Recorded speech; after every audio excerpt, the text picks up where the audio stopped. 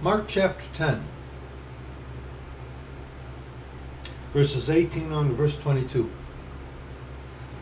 The title of this video is going to get your attention. And Jesus said unto him, Why callest thou me good?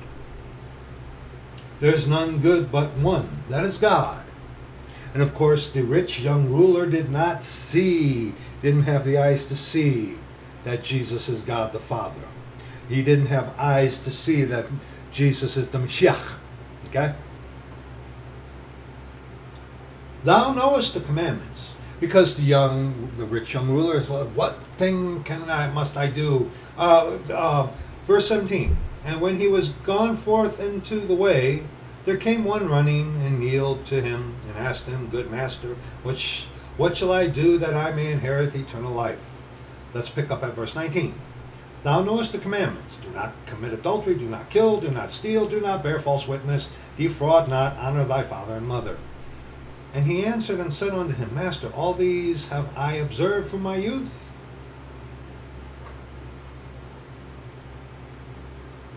Then Jesus, beholding him, loved him, and said unto him, One thing thou lackest.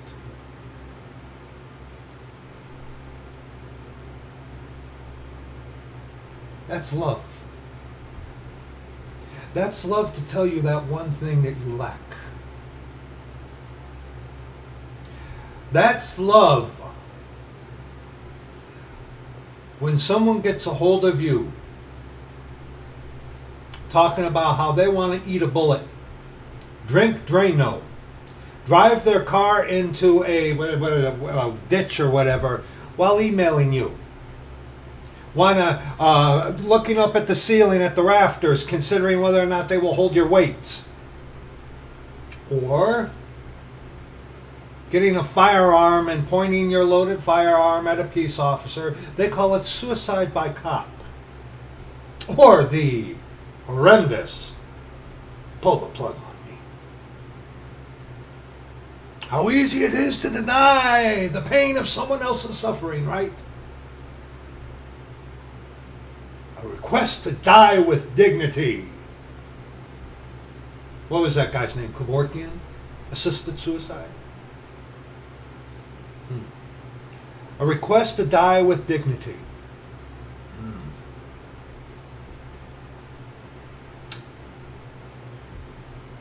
Then Jesus, beholding him, loved him, and said unto him, One thing thou lackest. Go thy way, sell whatsoever thou hast, and give to the poor, and thou shalt have treasure in heaven. And come, take up the cross and follow me. And he went, and he was sad at that saying, and went away grieved, for he had great possessions. The point of looking at this was one thing thou lackest. When someone comes to you with the serious notion of chomping on a bullet, drinking Drano, jumping out of a plane, or whatever you can think of, uh, making minced meat out of your wrists, the last thing that you as a saint. Now, we are going to be talking about this from the vantage point of the saint. But for any of you who will click on this, you need to consider something.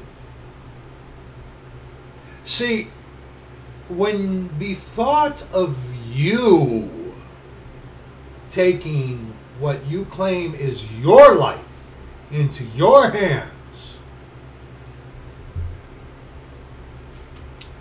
you know what you're doing? I will tell you. I will not tell you. Excuse me. The scripture will tell you. The Lord, through this vessel, will tell you. You know what you're doing?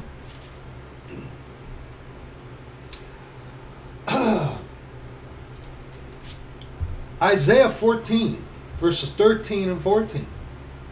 For thou hast said in thine heart, I will ascend into heaven. I will exalt my throne above the stars of God. I will sit also upon the mount of the congregation in the sides of the north. I will ascend above the heights of the clouds. I will be like the Most High.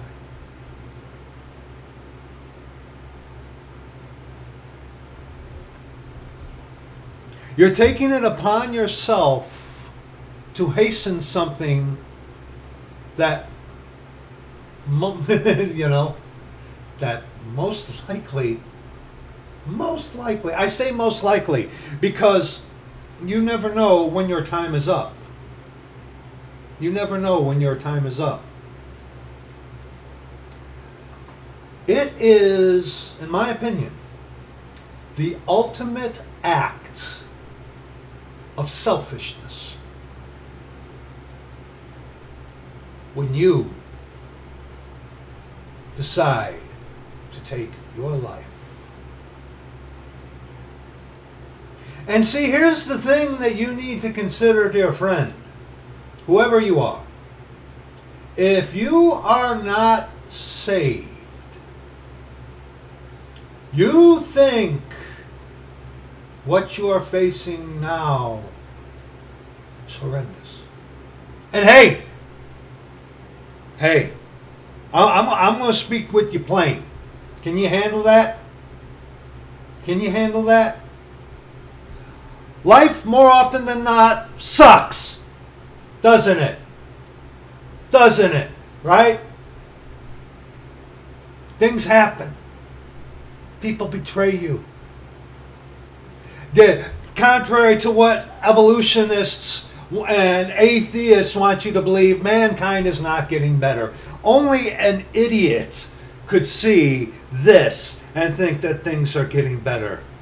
And then when you couple that, with Satan showing you the world in a moment of time, online and looking at things, hmm?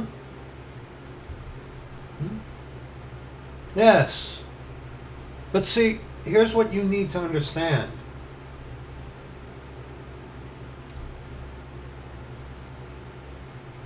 No matter what you're going through, and and hey hey hey, I I I get it, man. I I understand. I don't. I'm not wearing your shoes. I'm not. But I wear a shoe, but a different type of shoe in a different circumstance. Okay? If you're not saved, you think you got problems now. And see, that's the lie. It will, all your pain and suffering will end when you pridefully, in the guise of your father the devil, because you see the wind boisterous, the world and the problems are bigger than the little g God that you have made him out to be. See, that's the thing. You make God the Father into a little g God and exalt yourself. And then when things, circumstance of the world comes around and swipes your feet out from under you, and you realize you see your own wretchedness. You can't take it. So, my, at least myself, listen, pal, listen to me. There's a see a lot of people like to deflect the reality of hell. And there are some guys like that idiot Andy is his name. Um, he used to have a golfing thing, uh, golfing channel. Uh, he used to, he teaches that when a person goes to hell, that they can they can repent in hell and get out of it. That he, that's Catholic teaching. Okay. In order to avoid the thought of the reality of hell, you diminish it because you see your world, your problems bigger than the unescapable problem of hell.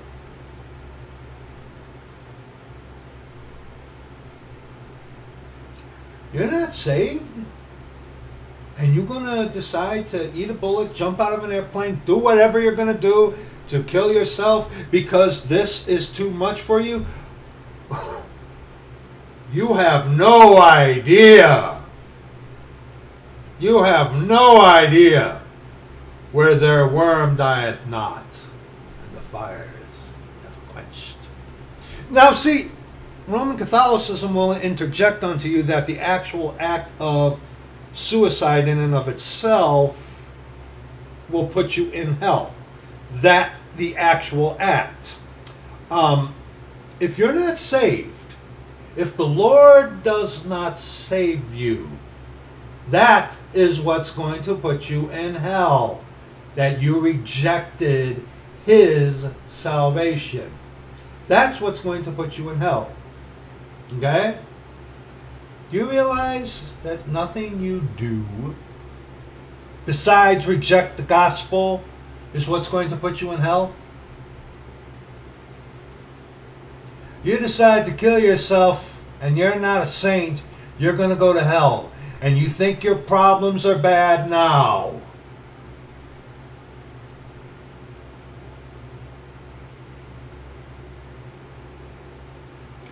And saints, you have to resist when someone, if you have ever been given the opportunity to talk to someone who is, you know, is playing around with a revolver, give me a reason why I shouldn't. Okay? You're not saved and you think you got problems now, you go ahead and you put that gun in your mouth and you pull that trigger, you're going to be in hell in something a million times worse than you could ever possibly imagine. You don't want to believe that. By the time you become a firm believer in hell, that that's that hell exists as well as heaven, you take that selfish self centered action, and ha, it will be too late for you. And see, we have to, when, when it comes to something like this, saints, brethren, we have to avoid the kind of passive approach. You don't be a jerk or anything like that, but you, I mean, when when you are faced, when someone gets a hold of you, over your health phone, through the email, or whatever, I am going to shoot myself. I'm going to drive my car into a ditch and hopefully be jettisoned out the windshield. Or have my chest cavity crushed or whatever. You know what the worst thing you could do? God loves you. God's not mad at you. It's angry, but they think God's not mad at you. God wants the best for your life.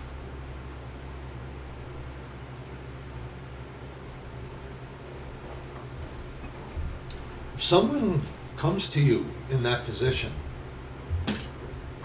you need to uh, make them aware, okay?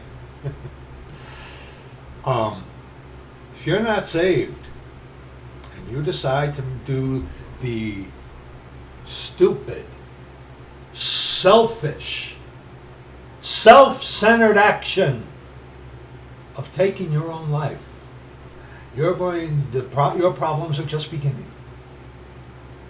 And you and I, as saints, we have to avoid Isaiah 30, verses 8 on to verse 11. Now go, write it before them in a table, and note it in a book, that it may be for the time to come forever. That this is a rebellious people, lying children, children that will not hear the law of the Lord, which say to the seers, See not, and to the prophets, Prophesy not unto us right things, speak unto us smooth things. Prophesy deceits. Get you out of the way turn aside out of the path, cause the Holy One of Israel to cease from, uh, from before us. What good, what, you know, you're not saved, and you're going to, you're going to end your life, you're going to kill yourself?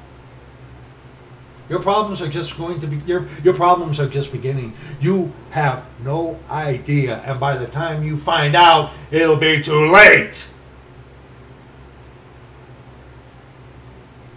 Some have compassion, making a difference. Others save with fear, pulling them out to the fire. The worst thing you can. God loves you. God's not angry at you.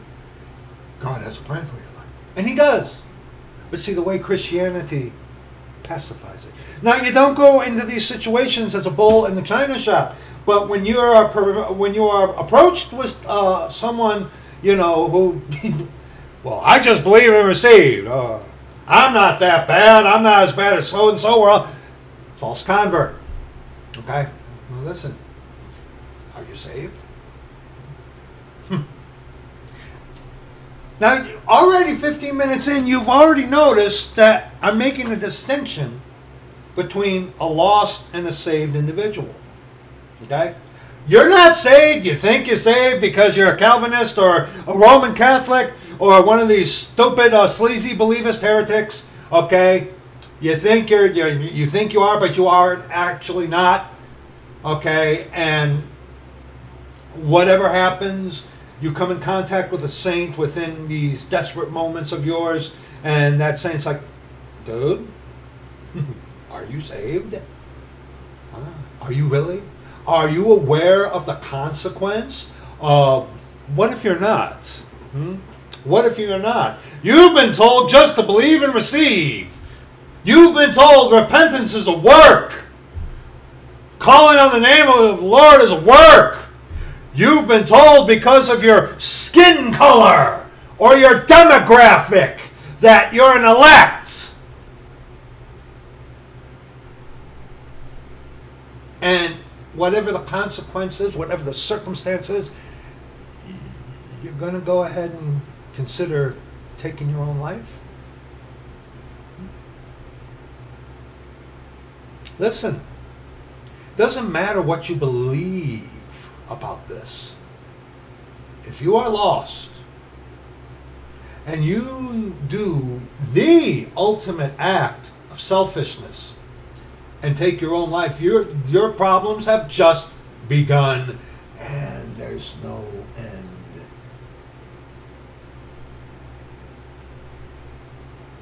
You have no idea. But now the contrast. A saint. A saint. Bar none. Suicide is the ultimate act of selfishness. And for a saint, who considers it.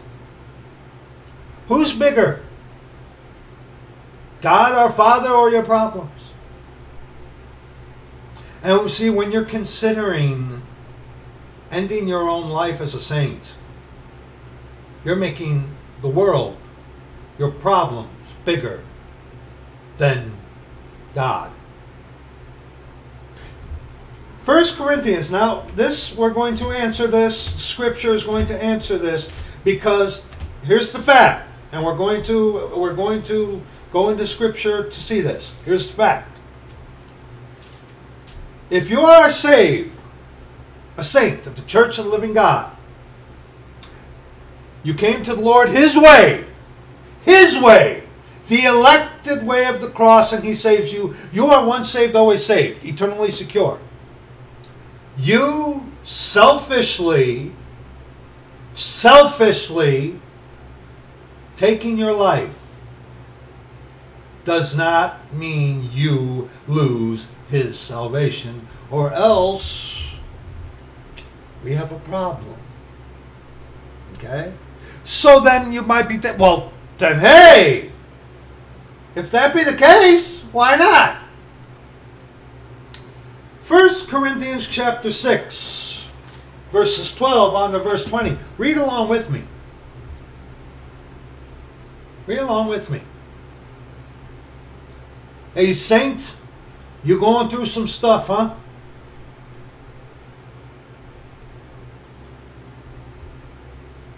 You're going through some stuff? Yeah, you're going to be in heaven. Sure. Yes, you will be. But do you want the Lord to be ashamed of you for all eternity?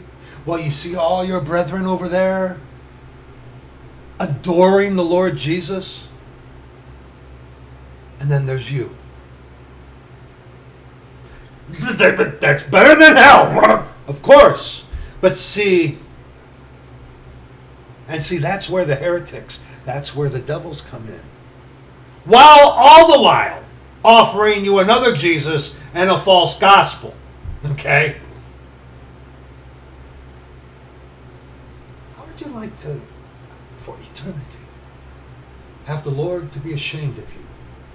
Ashamed of you also, keep this in mind, dear saints, that the reason why you're up there is because you took it upon yourself, because you saw the world and your problems bigger than the Lord who's right there.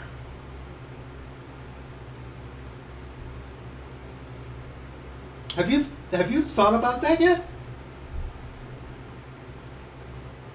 You don't see a way out. So you selfishly take a way out. The Lord, who made heaven and earth, who can do anything, raise the dead. Imagine that. What? Your problems were too big for you? Your problems are big, anything too hard for me? Have you have you put the brakes on yet and thought of that? 1 Corinthians chapter 6 verses 12 on to verse 20. The go-to verse for these people who want to justify yoking themselves up with the Vatican, King James Bible believing Christians. All things are lawful unto me. God's a, unless you, you you know the God of Calvinism, um, God is not a God of coercion. You have to make the right decisions. All things are lawful unto me. You can do anything that a lost person can do. Yes, you can. Yes, you can. The consequences are the things that a lot of you aren't considering or don't want to. But yes, you can. And that is undisputed. That that is undisputable. But you, you know what you do? You get you get your little pen and you circle that but and you get yourself one of these and you put that there. Cir- circle that a couple times, brother. Okay? But all things are not expedient. All things are lawful for me, but I will not be brought under the power of any. Look, I've been there myself. But in the name of our Lord Jesus Christ, how are you going to look the Lord in the eye and say to him, My problems were bigger than you, I thought?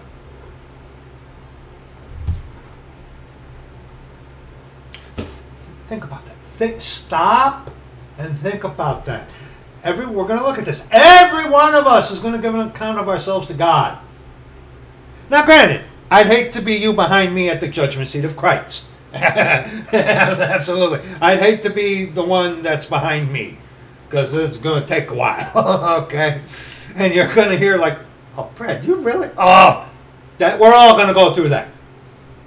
Okay, we all we are all going to go through that. You know where it's like the the thing about the you know I gave you ten talents and this guy did that and this guy did that and then the one guy he he took the talent and hid it and he's like I knew that you were a hard and a stern man. So here here's that. Hmm. saints?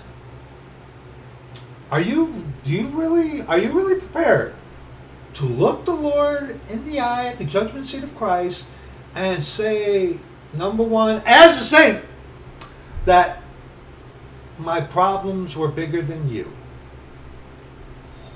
Oh. Have you have you have you stopped and thought about that?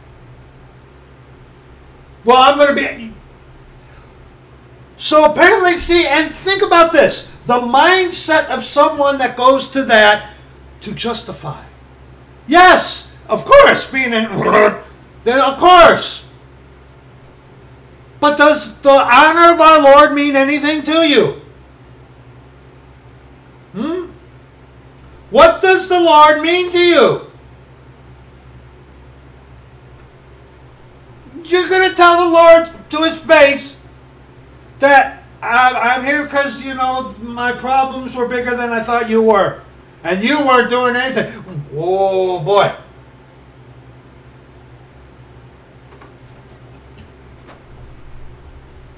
And see,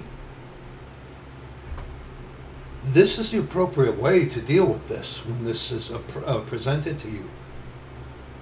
Because when you go to someone who is in that frame of mind in that state with the God loves you, oh, don't worry about it, they're just going to continue to justify anything.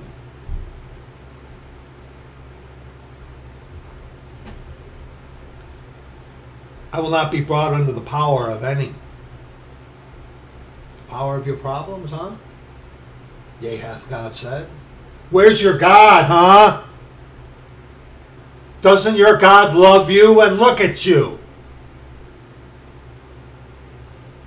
Meats for the belly, and the belly for meats. But God shall destroy both of them. Now the body is not for fornication, but for the Lord, and the Lord for the body. Okay? And God hath both raised up the Lord, and will also raise up us by his own power. Know ye not that your bodies are the members of Christ? Your body is the temple of the Holy Ghost that lives within you. Okay? Now, again, context here is talking about the physical fornication, but there's more than just physical fornication. Okay? We've, we've talked about that before. Okay? But you also got to remember, harlot is mentioned here. And you tie that in with Proverbs chapter 7. Who is the mother of harlots? Who, when you are wanting to eat a bullet, is going to come to you with the, oh, God loves you. Don't worry, it's okay. The one who speaks to you smooth things. The ones who speak to you like a dragon. Or devil, I should say. Let's continue. Shall I then take the members of Christ and make them the members of an harlot? God forbid. Now, yes, context is addressing, yes, but it is more so than just relegated to that. Members of an harlot who catches you with an impudent face and kisses you. This day I have my I have brought peace offerings with me. I have uh, paid my vows. I have perfumed my bed with myrrh, aloes, and cinnamons, with tapestries from Egypt, coverings of Egypt, of the world. What? Know ye not that he which is joined to an harlot is one body? For two, saith he, shall be one flesh. Yes, again, context is reference onto the physical. Absolutely. But it is not, that is not all that is relegated to. Okay? And watch out for these. And this is heretical. When you got somebody who comes around saying, well, that's the only way it can be used for us today to instruct us, why would they do that? To justify some kind of sin. Because, okay, guess what? Guess what? Guess what? All right? When you're justifying uh, yoking yourself up with the Vatican for a day in December, guess what, dear pal? You're one flesh with Rome. That's why I can't take any of you, uh, you know, certain people who are so gung ho about that seriously when you come out against the Vatican. It's like, dude, shut up. Okay, you you cause so much problems justifying your worship of the mass. Okay, how can that, how can you how you expect me to take you seriously? You come out against the Vatican when you defend the Vatican, and you become one flesh with them, with her, for one day out of the year.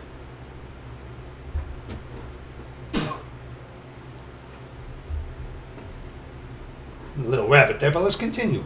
Back on course. But he that is joined unto the Lord is one spirit. Lowercase s. Lowercase s, because you're not a little God. And see, again, when you decide to take your own life, you are you are saying that you are your own God. Flee fornication. Every sin that a man doeth is without the body. But he that committeth fornication sinneth against his own body. Um, you know, what other kind of form of fornication, other than the physical in the bed, could there be? Oh, maybe taking it upon yourself to do something that, um, as a saint, it's not your call to make. Think about it. What? Know ye not that your body is the temple of the Holy Ghost which is in you, which ye have of God? Look, don't you look at me. You look at that verse right there. And ye are not your own. Hey, brother, sister, you do not belong to you. Yes, all things are lawful for you. Yes, you got to make the right decisions, but guess what? Guess what? You are bought with a price. You don't have that luxury. Even though all things are lawful for you. You don't, you are not yours. You don't belong to you. But see, again, you do have to make the right decisions. But you bought and paid for. Bought and paid for. Okay?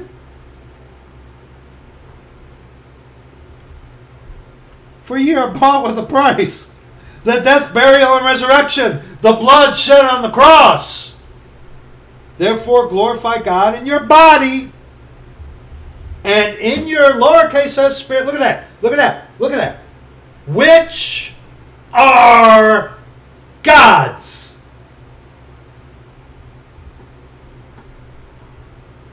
So, with that alone, you're considering drinking some Drano, huh?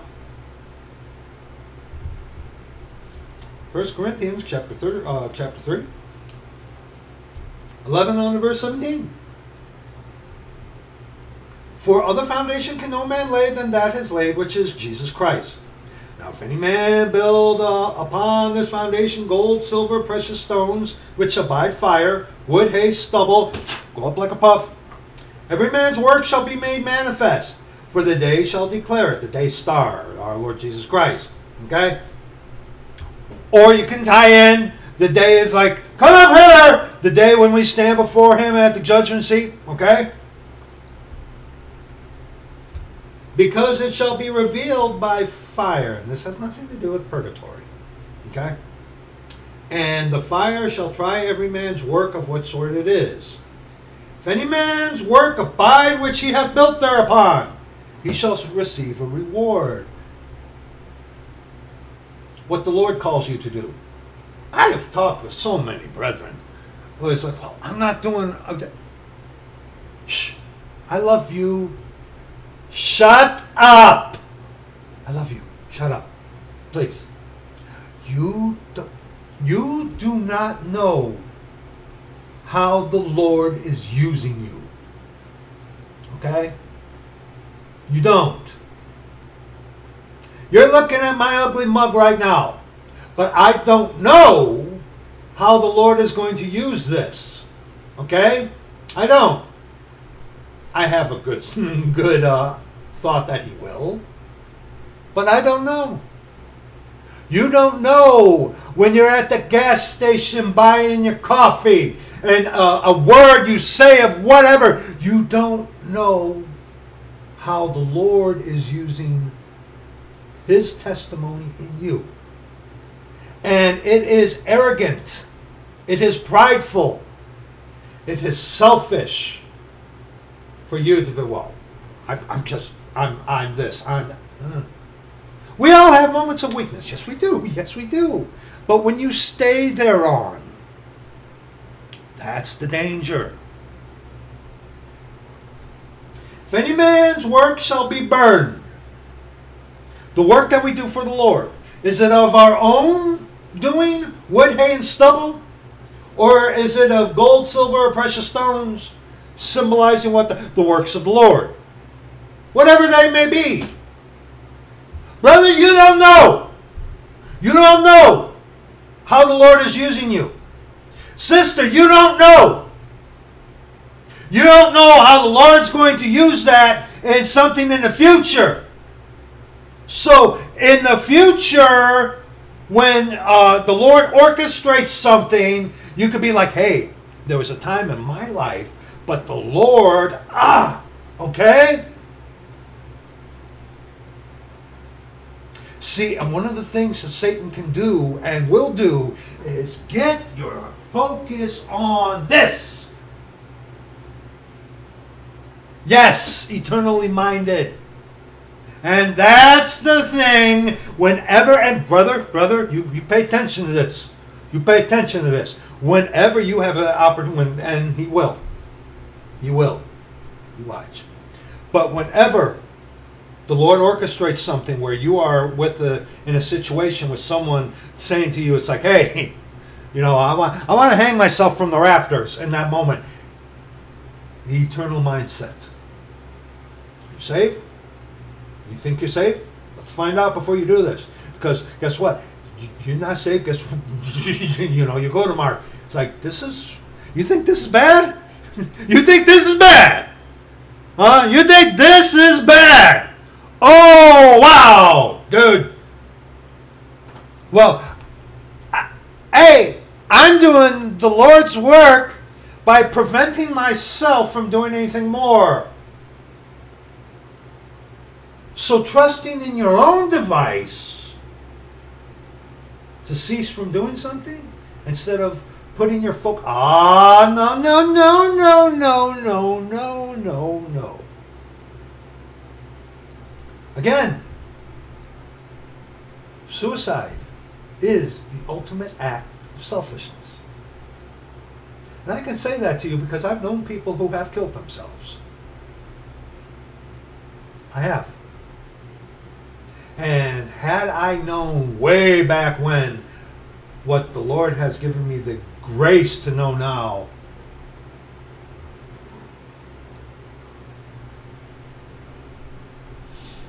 If any man work shall be burned, he shall suffer loss. But he himself shall be saved, yet so as by fire, pointing to eternal security. Your, re- your rewards, you know, not salvation, your rewards, you know, your works that you did were of your own wood, hay, and stubble. The works, or drinking the drink, whatever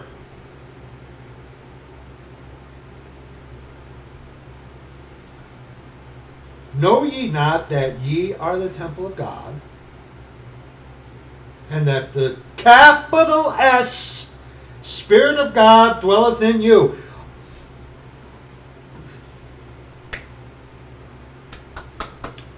If you're a saint and you're considering, I love you, I love you, I love you. If you're a saint and you're considering the stupidity of offing yourself, this is what you do. Know ye not that ye are the temple of God, and that the capital S Spirit of God dwelleth in you? You have the Father in you. Now we can't hurt the Father physically within us, of course not. That's no, but you know, it was like the uh, the one thing that uh, I forget where I heard it from about the one guy who was a, a saint struggling with uh, the sin of pornography. He was going to a, he was going to go to a porn shop and do that gross stuff, and the Lord's like, "Don't take me in there with you. Don't subject me to see those things." Why? Because the Lord was in him.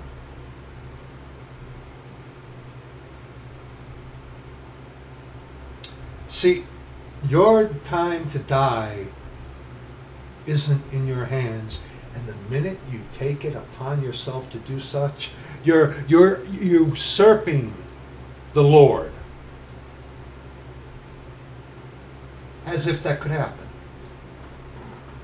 See, in a moment, in a moment, Satan's, but you know, you know, he flashes the world at you in a moment of time on that stupid stuff.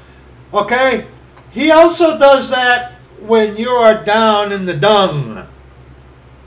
That's especially when you need to put on the brakes and be like, okay, I need to really seriously think about this. Okay? Know ye not that ye are the temple of God, and that the capital S Spirit of God dwelleth in you? If any man defile the temple of God, him shall God destroy. For the temple of God is holy, which temple ye are. Now, obviously, that's not a reference onto the loss of salvation. Because if that were, then you would have this whole this whole passage would be contradictory. And that is not the case. That is not the case. I knew a man who took a 12 gauge and missed. Put it right here. I'm gonna put the thumb. He's gonna he's gonna blow the top of his head off. And whatever happened, missed. He survived.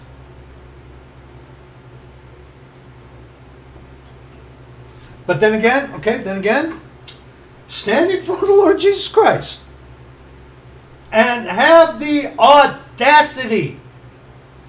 My problems were bigger than you.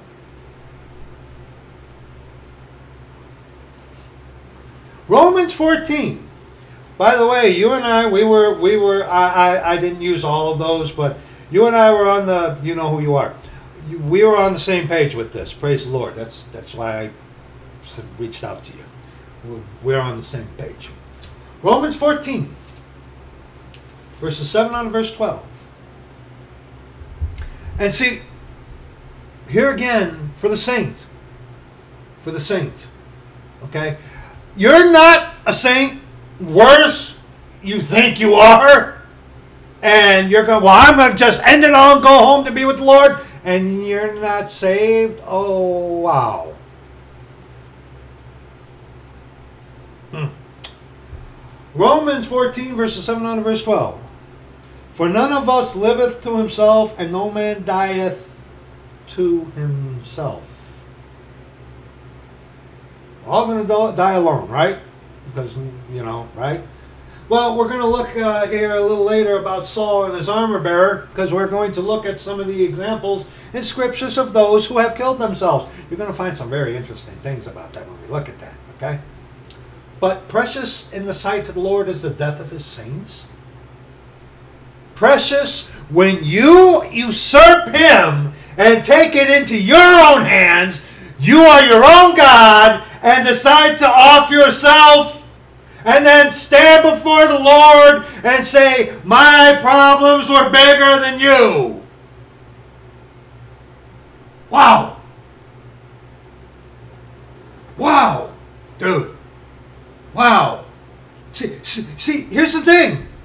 You got to stop and think about this thing. The last thing you can do when someone comes to you is to.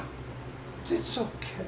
It's. I mean, be be there for them. If they cry, like hug them, let them snot all over you, whatever. But when it comes to this, you can't be you can't be a sissy. You know, you talk about being gentle. Gentle in context is talking about you taking the whole scripture and cramming it down someone's throat. Okay? When someone comes to you in that state, you as a saint, say, okay, you have to consider the ramifications of your action. If you're not really saved, you're going to hell. If you are saved, you go to heaven to be with the Lord. Number one, you're going to have to face Him and tell Him that your problems were bigger than Him, and He's going to be ashamed of you for all eternity. And see, the justification of a mindset. Well, that's yes, it is better than hell. Do you really love the Lord? Look For those of you who are going through stuff, I know that's hard to hear. I know it's not what you want to hear, but you're going to hear what you need to hear. What, what kind of love are you showing the Lord when you usurp Him? And you go contrary, for none of us liveth to himself, and no man dieth to himself.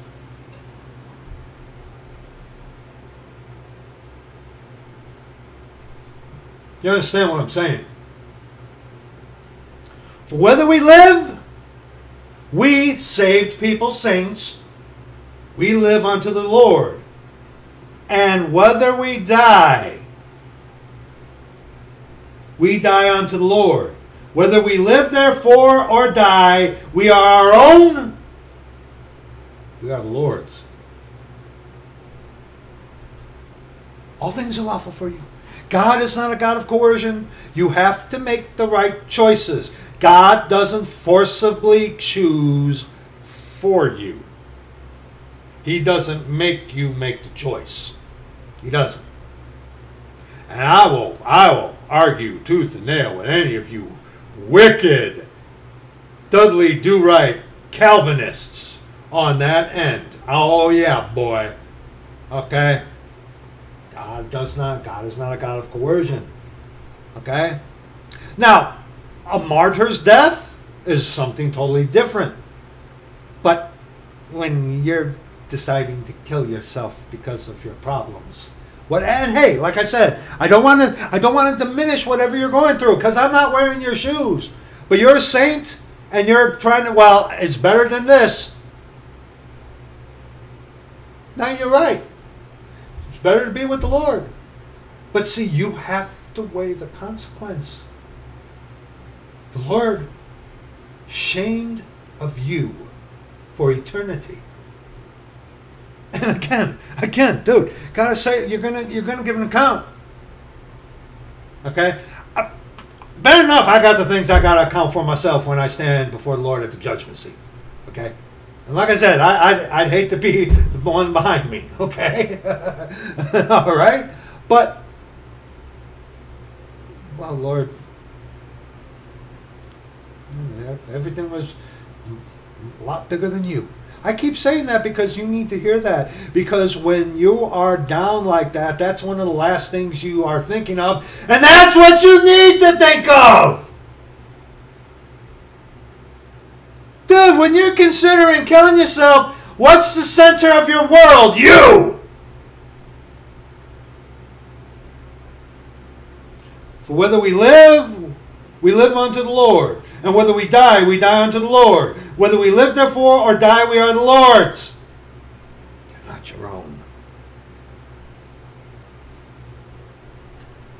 For to this end Christ both died and rose and revived, that he might be Lord both of the dead and the living.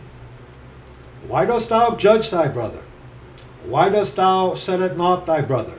For we shall all stand before the judgment seat of Christ. Only saved people stand before the judgment seat of Christ. And the judgment there that that's being talked about is about, you know, day of worship and what you're eating. Okay, that's what that is in context of, with uh, the premise of those Judaizers trying to bring that in to this dispensation. Okay, let's continue. For, for it is written, As I live, saith the Lord, every knee shall bow to me, saved and lost. Us saved people at the judgment seat, lost people, uh, and stuff like that who don't go up at the redemption of the purchased possession. It's the great white throne of judgment, okay? And every tongue shall confess to God. So then every one of us shall give an account of himself to God. Those are generalized statements right there. Verses 11 and 12 are generalized statements within the context of reminding us that us saints are going to be at the judgment seat of Christ. I don't, I, I get it with the how things can be in life. I understand that. Like I said, I'm, I'm saying it to you plain. Sometimes life sucks. Okay, yes, it does. But what is the source of your joy? See, when this gets overbearing. That's when you got to narrow that uh, sight of yours. Because remember, Peter, he took his eyes off Jesus because he saw the wind boisterous and he began to sink. He didn't plummet, he began to sink. What did he do? Lord, save me! Why did you doubt? Second Corinthians chapter 4, verses, I can't read my writing, 6 onto the close. For God, who commanded the light to shine out of darkness, hath shined in our hearts, to give the light of the knowledge of the glory of God in the face of Jesus Christ. But we have this treasure in earthen vessels. Treasure. Precious. Pearl without price. Beyond price. Treasure in earthen vessels. Is the Lord Jesus Christ, God your Father, a treasure to you? Who dwells within this temple? Eh? Yeah? And you're going to go throw yourself in front of a Mack truck?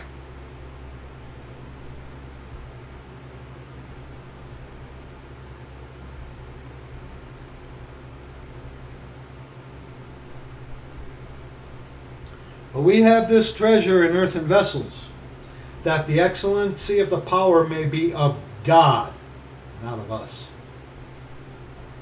We are troubled on every side, yet not distressed. Paul, people, Paul wanted had people who wanted him dead. people who want me dead. okay. You know, you're suffering because of bad choices, whatever.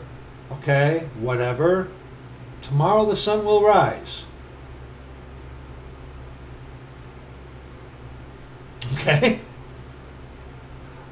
You need to stop and think about the consequences of your irrational, spur of the moment uh, choices that you are contemplating. And you need to remember the eternal perspective, which is conveniently being lost with so much of Christianity and things of the world. We are troubled on every side, yet not distressed. We are perplexed, but not in despair. Persecuted, but not forsaken, even though some of you think you are. Cast down, but not destroyed. Because most that the Jesuits can do is kill your body. They ain't going to kill your soul or your spirit. Okay? Always bearing about in the body the dying of the Lord Jesus, that the life also of Jesus might be made manifest in our body. You're showing contempt for the Lord when you say, when you are about to, okay, you're showing contempt for the Lord by telling him that the world, your problems, whatever, are more than he can handle. Well, why isn't he? I don't know.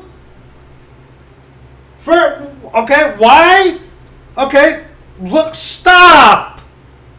Stop. Stop. Take a step back. Time out. Look. Use your eyes. You know those things in your head. And look, it's like, okay, during all of this, where's my focus? You know, in Amos chapter 4, I did this to you, I did this to you, I did this to you, I did this, yet you turned not to me. And when you're going through something where you're considering offering offering yourself, is your focus on the Lord? Come on, that, that's a that's a rhetorical question. Okay? Okay? Let's continue. Let's continue. Okay? Let's continue. For we which live are always delivered unto death for Jesus' sake, that the life also of Jesus might be made manifest in our mortal flesh. When you give up, when you take that selfish thing, you are, and think of the testimony. Think of your selfishness. Well, it's better than here. You're right. But you don't know how the Lord is using you. And the Lord is using you. You don't know how. You're not, okay, you're not doing this. You're not passing out this. You're not doing that. You're not doing that. But in one way or another, I just talked to a brother from out northeast. The, the, the brother's like going to people and just helping them out. Just, just helping them out. Okay? Getting crowns. Okay? All right? Brother going to see his mother. All right? The, the test, his testimony there amongst many people. Brother going to a gas station, getting his coffee. Okay? You don't know how the Lord is using his testimony in you. And when you, as a saint, take it upon yourself, think about that. What does our Lord mean to you? Okay? Because look, I'm going to tell you plain. I'm going to tell you plain. I love you. You, as a saint, decide to kill yourself. You're really showing that you don't have that much faith in the Lord. Think about it. What if he wants to? What if he, he's he's allowing that? Obviously, why? To show you something? Well, where was your attention during all this? The, the devil getting you know distracting you, right? Right? Or were you on your face? Well, it, it, it, it hasn't. You know, he hasn't. Um, whose timing is more perfect, ours or his?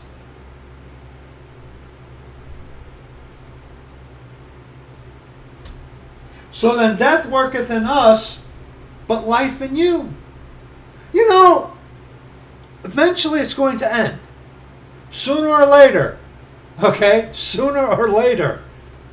And then when the Lord pulls you out of that situation, somewhere in your life, okay, He can orchestrate for someone to have, be going through something very similar where you can be, give me a better word, kind of a mentor in a way. It's like, hey, you know, a couple years ago, man, I was I was gonna chomp on a 38 special. Okay, I was I'm gonna jump out of whatever. I I had the Drano in a wine glass.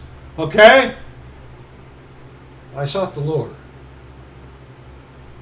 I sought the Lord. And you don't want to go to hell. You don't want to. We, everyone deserves to go to hell. Okay? I'm doing better than I deserve. I deserve death, hell, and the grave. Okay? You don't want to go to hell. You don't want to go to hell. Hell is worse than any, any problem, anything that you on this earth in these days, hell is worse Hell was, hell was prepared for the devil and his angels. Okay? But you, because you want to be a, a servant of your father, you lost people, you're going to go there. Hell, you no. No, you do not. You would not rather want to go to hell. That that's foolish. That's foolish. And some of you know better said from a weakness. Understandable. But come on now. Come on. You, you need to hear it like this.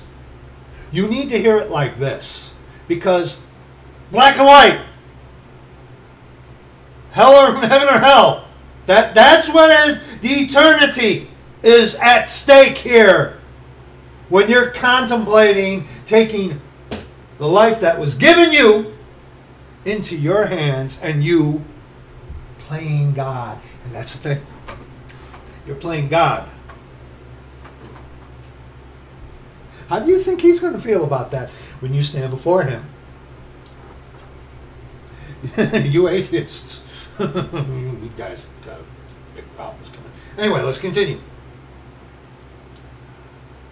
Verse 13 We having the same spirit of faith, according as it is written, I believe. Therefore have I, therefore have I spoken. We also believe and therefore speak. Knowing that he which raised up the Lord Jesus shall raise up us also by Jesus and shall present us with you. All things are for your sakes, that the abundant grace might through the thanksgiving of many rebound to the glory of God. And when the Lord brings you out of your you know tumultuous sea, thanksgiving to God.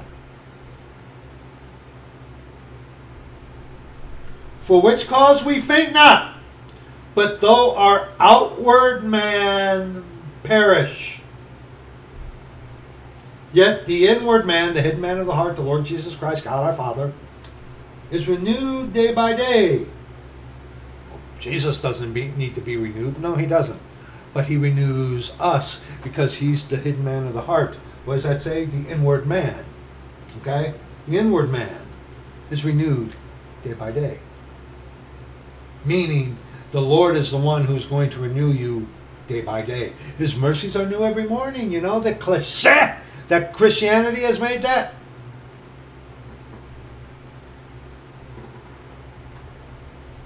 For our light affliction. Eternity with the Lord in heaven, yes.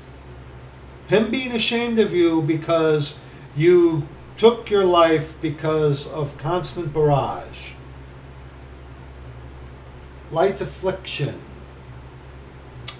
You made the problem eternal rather than looking to the eternal, our Father. Do you got that? For our light affliction, which is but for a moment. Oh, sure, it doesn't feel like one, does it? No, it doesn't. No, it doesn't. No, it doesn't. But see, eternal mindset, eternally minded. A lot of you youngins out there, you struggle with that, especially with you in, within your 20s and stuff like that. Okay? Uh, yeah, when you get a little age on you and your body starts to fight against you because of what you did to it as a lost man, okay? The eternal perspective becomes a little bit more pronounced. I wish, I pray the Lord that you youngins would at least consider and begin to search the scriptures and grasp, begin to take hold of that eternal perspective. Because that eternal perspective is lost within Christianity. For our light affliction, look at this verse light affliction, which is but for a moment, in the scheme of eternity, worketh for us a far more exceeding and eternal, there's the word, eternal weight of glory. While we look not at the things which are seen, your world began to collapse. but the things which are not seen, for the things which are seen are temporal, but the things which are not seen are eternal. Ephesians 3. Ephesians 3, 11 on to verse 21. According to the eternal purpose which he proposed in Christ Jesus our Lord Eternal purpose. Eternal purpose. God does have a plan for your life. Yes, He does. Christianity throws that at you to tantalize your covetousness, to make it all about you. But yes, God does have a plan for your life. You are His ambassador. And what an ambassador you are by telling the whole world that He wasn't big enough to handle to help you through your problems and you kill yourself. Think of what you're going to be. If you do that, yes, you'll be in heaven if you're a saint. Yes, you will be. Yes, you will be. But think about the testimony you are leaving behind as a saint by telling people that, well, my God, who I told you I love, wasn't strong enough, powerful enough to help me out during these times, so I ended it because I was selfish. Wow. You need to hear it like that. You need to hear it like that. Because the devil will kiss you on the cheek as he pushes you off the cliff. In whom we have boldness and access with confidence by faith of him. Wherefore I desire that ye faint not at my tribulations for you, which is your glory. For this cause I bow my knees unto the Father of our Lord Jesus Christ, of whom the whole family in heaven and earth is named. That ye that he would grant you, according to the riches of his glory, to be strengthened with might by his capitalist spirit in the inner man. There's that thing about the inner man again. That Christ may dwell in your hearts by faith, that ye being rooted and grounded in love, may be able to comprehend with all saints what is the breadth and length and depth and height, and to know the love of Christ, which passeth knowledge, that ye might be filled with all fullness of God. Now unto him that is able to do exceeding abundantly above all that we ask or think, according to the power that worketh in us. Uh, the power that worketh in us is the Lord. Okay? That people will take that verse and it's like, well, you can, if you believe it, you can achieve it. Okay, people will take that verse and try to twist it into that you are your own God. No, uh, the power that's in, worketh in us, the power is what? The one that worked, the Spirit in the inner man, the Lord Jesus Christ, God our Father, okay? Unto him, the one, the, the power that worketh in us, unto him be glory in the church, the body, by Christ Jesus throughout ages, world without end. Amen. Amen. Romans 8. Romans 8, verses 38 and 39. Romans 8, verses 38 and 39. For I am persuaded that neither death, nor life, nor angels, nor principalities, nor powers, nor things present, nor things to come, nor height, nor depth, nor any other creature shall be able to separate us from the love of God which is in Christ Jesus our Lord eternal security. Once you come to the Lord His way, His way, the way He elected. He elected the cross. You want what He has, you want the Lord, you got to go His way. All right? All right? It's, it's that simple. 2 Timothy chapter 4, 2 Timothy chapter 4, verses 17 and 18. Notwithstanding, the Lord stood with me and strengthened me, that by me the preaching might fully might be fully known, and that all the Gentiles might hear. And I was delivered out of the mouth of the lion. And no marvel, Satan himself is transformed into an angel of light, and he walketh around like as a lion, seeking whom he may devour. And the Lord shall deliver me from every evil work and will preserve me unto his heavenly kingdom, to whom be glory forever and ever. Amen. Second Timothy, we're going to be in Second Timothy uh, here now.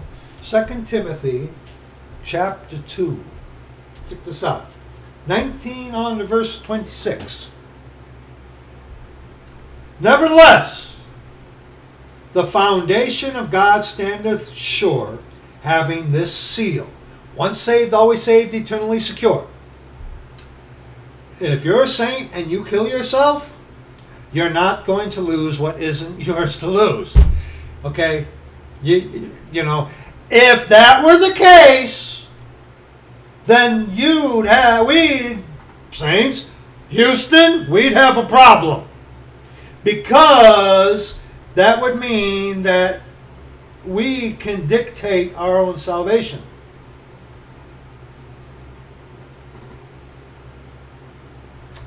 And if we lost salvation because something like that, then we're not once saved, always saved, are we? But see, before you start thinking, well, then, then what? What do you think? It's like, well, then why not everybody? God has a plan for us. We don't live unto ourselves. We are here to be His ambassador. Well, there's someone better than me. Shut up. You're being selfish and self centered. You're thinking about yourself only. You're not thinking about the Lord. Okay? The Lord can and will use you in whatever capacity He wants to, and you don't know how He's using you.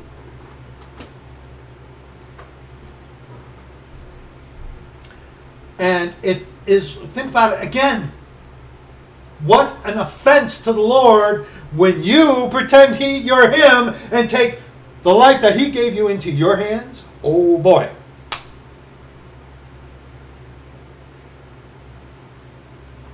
Yes. Nevertheless, the foundation of God standeth sure, having this seal The Lord knoweth them that are His. And let every one that nameth the name of Christ depart from iniquity. Now, a while ago, I, I was off on this, but a dear brother corrected me on this. Praise the Lord. But in a great house, we are of the house of the Lord, meaning we belong unto Him. Okay?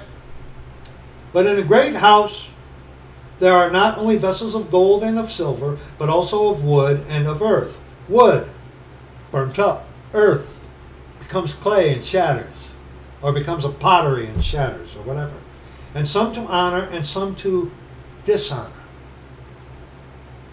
Well, a saint, you know, who's being an idiot, who's refusing to live according to the scripture, and the Lord ends up, you know, to deliver such a one unto Satan for the destruction of the flesh, that the spirit may be saved in the day of the Lord Jesus. Okay? But also, some to dishonor. A great house. We are of the house of the Lord some to honor and some to dishonor. When you take it upon yourself to end your life, however sick, sick way you want to justify it, contrary to his design, his desire. Because remember, he's not a God of coercion.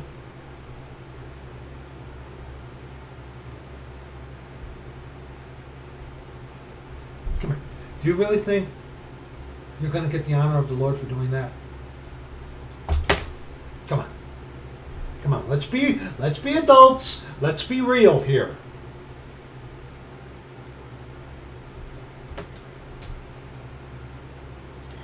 I had a plan. I, you know, I didn't want you to come here yet. I had other plans for you. Well, why didn't you stop me? Um, you got to make the right choice. I'm not going to do make the choice for you. You have to make that choice. You have to choose whether to walk according to the way I will have you to walk or not. Because the minute he starts doing that, according to these idiot Calvinists, you you're a robot. And God doesn't want robots. If a man therefore purge himself from these, he shall be a vessel unto honor, sanctified and meet for the master's use, and prepared unto every good work. Hmm. What about the one about dishonor? Again, this is showing us what? In a great house, the house of the Lord, you know, some are, are kept alive to be a bad, uh, it's like, don't be like brother so. But also, again, in heaven, great house, you know, we got mansions. Okay? The tie in there. You take it upon yourself and you play God. You're a vessel of dishonor. Because how are you honoring the Lord when you take it upon yourself? Because that, your problems are bigger than He is. I know I keep saying that to you, but you need to understand that. And if you watch this, hopefully this will get through that thick head of yours. I love you. I really do. Flee also youthful lusts. Youthful. It's all about you. It's all about you. Hold your place here. Hold your place. Ecclesiastes 11, anyone? Please, thank you, Father. Rejoice, O young man, in thy youth. I, I, I, I, me, me, me, me, me. There's a generation. Uh, what, is that? What is that, brother? Um, uh, what is that? Is that, uh, where is that? Yeah. Uh, Proverbs 30. Uh, there's a, uh, let's see, um, 11 on to verse 14. There's a generation that curseth their father and doth not bless their mother. Put that in your pipe and smoke it. There's a generation that are pure in their own eyes. I'm just to do that because I'm ending it all. I'm going to be with the Lord. Y- yes, saint, sure, you'll be in heaven, but he'll be your vessel of dishonor.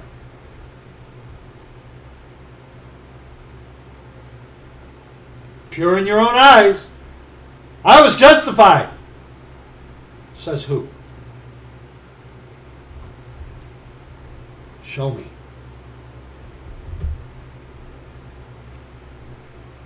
There's a generation that are pure in their own eyes, and yet not washed from their filthiness. Oh, that right there plays on to the lost people who put themselves in hell when they decide to be God and shame.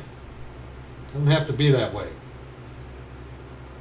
There's a generation, oh, how lofty are their eyes, and their eyelids are lifted up.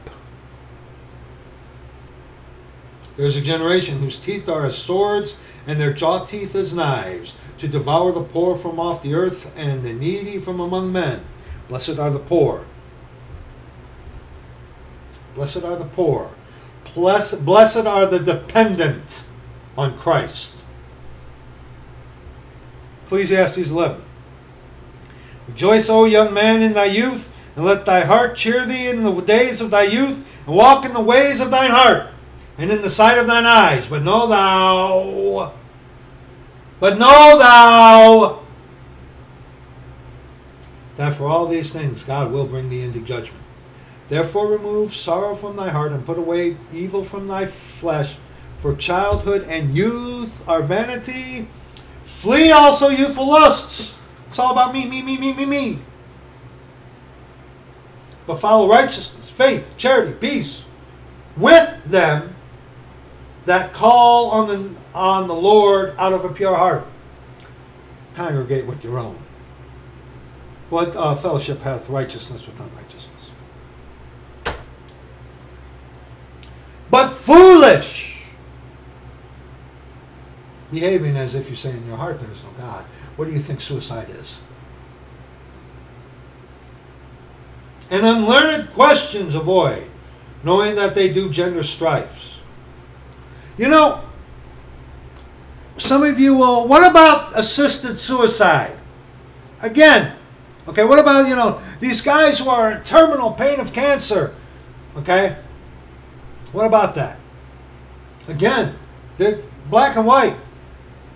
Okay, end my suffering. My, me, me, me. Uh, Elisha, when he was in sickness, put his hands on the guy's bow and he shot the arrows and stuff like that. Okay? I, uh, Dean. Uh,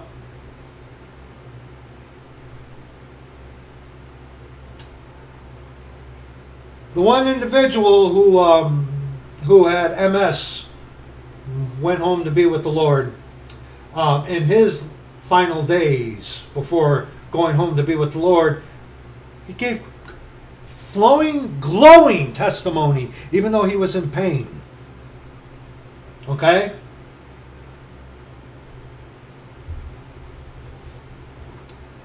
There's no way around it. Suicide is the ultimate act of selfishness. And if you are a saint, no matter your predicament, your life isn't yours. Even though you are the one, you, you know, you got to make the right choices. We've already proved that through Scripture.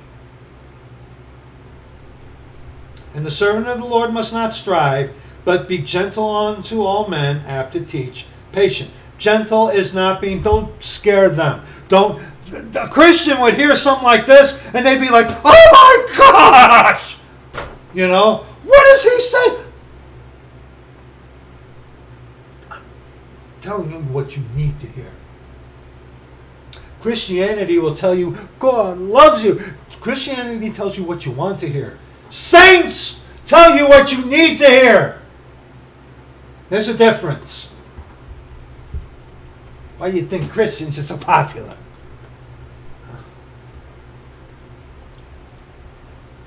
And the gentle there is reference onto taking this and cramming it down their throat. No.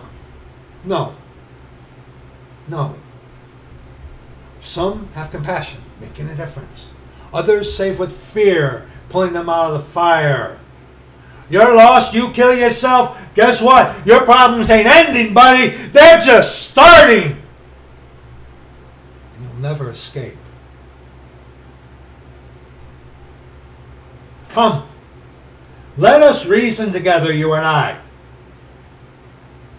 Doesn't mean if the Lord saves you that your problems are going to go away like that. I actually, some of them are probably going to increase.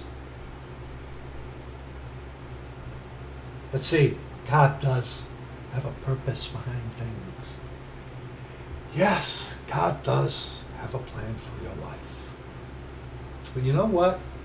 Usually involves suffering for righteousness' sake. Righteousness' sake. Not so that you can get a whatever 150 inch plasma screen TV that's as long as this wall. Talk about crazy, man. Let's continue.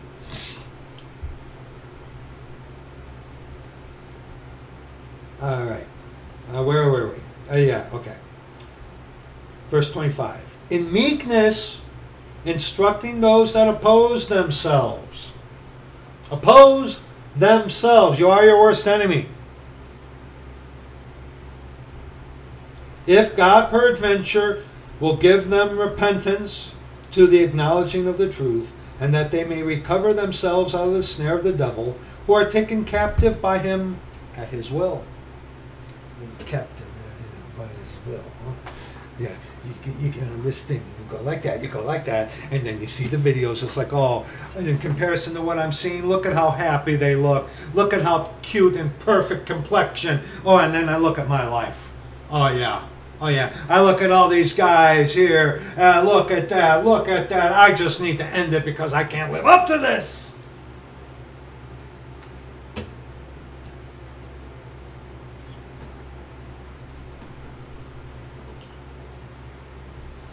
And look at verses 11 on to verse 13 in 2 Timothy chapter 2. This is a faithful saying. For if we be dead with him, dead to ourselves and to the world, we shall also live with him. If we suffer.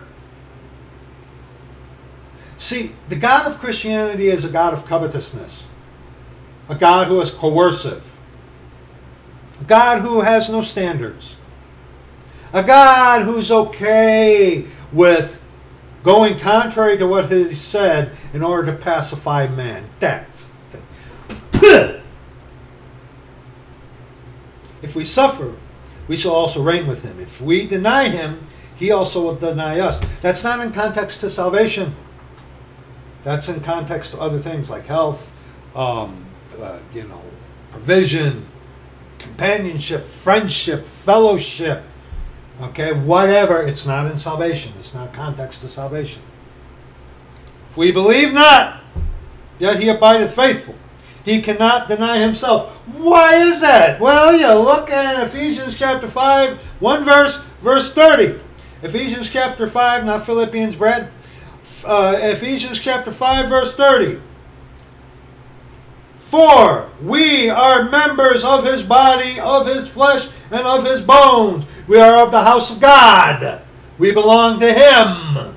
We are bought and paid for. We've already looked at that. Okay?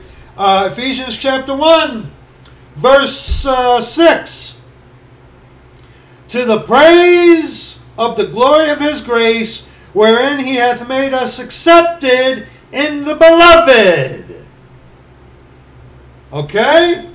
Okay? And also, while in Ephesians 1, verses 13 on to verse 14 in whom ye also trusted, after that ye heard the word of truth, the gospel of your salvation, in whom also after that ye believed, ye were sealed. Nevertheless, the foundation of God's uh, this is Second Timothy verse 19. Second, two, uh, 2 Timothy 2, verse 19. Nevertheless, the foundation of God standeth sure, having this seal. Seal. Once saved, always saved. Okay? Back in Ephesians 1, verse 13 in whom ye also trusted after that ye heard the word of truth, the gospel of your salvation, in whom also after that ye believed, ye were sealed with that capital S, Holy Spirit of promise, which is the earnest of our inheritance until the redemption of the purchased possession unto the praise of his glory. Once saved, always saved. Okay? Okay? No, if you're a saint and you're selfishly, selfishly denying the Lord, mocking Him, because what are you doing? You can't help me. My world and problems are bigger than you, so I'm going to take it upon myself. Wow. Wow. Okay? Yes, you go to heaven. 2 Timothy chapter 2, verse 20. But in a great house, we are of we are of the Lord's body. Got mansions waiting for us, right? I, you know, we got a closet. That's great. Okay. Yes. But, but in a great house, there are not only vessels of gold and of silver, which to have abide the fire. Okay. We already looked at that. Okay. But also wood and earth. We, uh, we already looked in 1 Corinthians chapter 3. Okay. And some to honor and some to dishonor. A dishonored vessel in heaven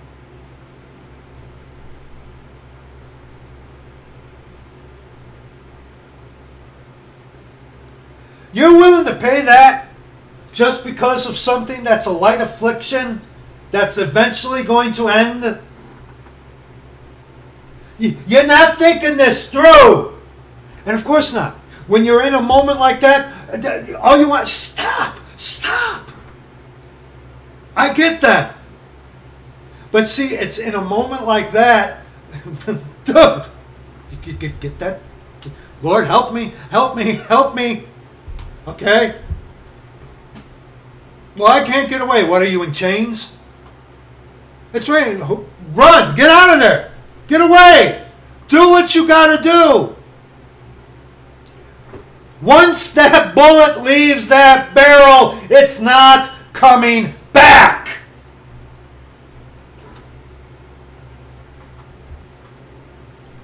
Okay? Once you make that stupid decision, there's no coming back from it. No matter what that jerk Andy says. Hey, tell him I said so. Okay?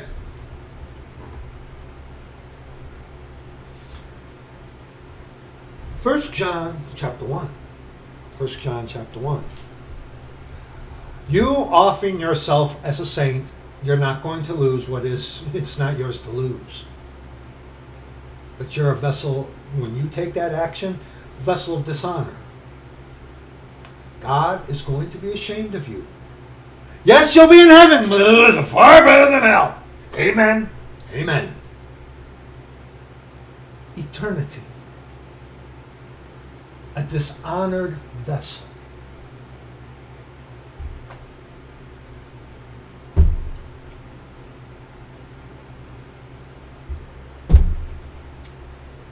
God's not a respecter of persons within salvation.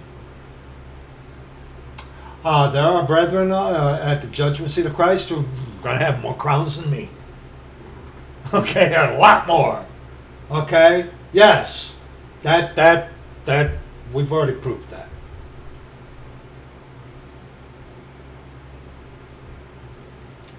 That which was from the beginning, which we have heard, which we have seen with our eyes which we have looked upon, and our hands have handled of the word of life.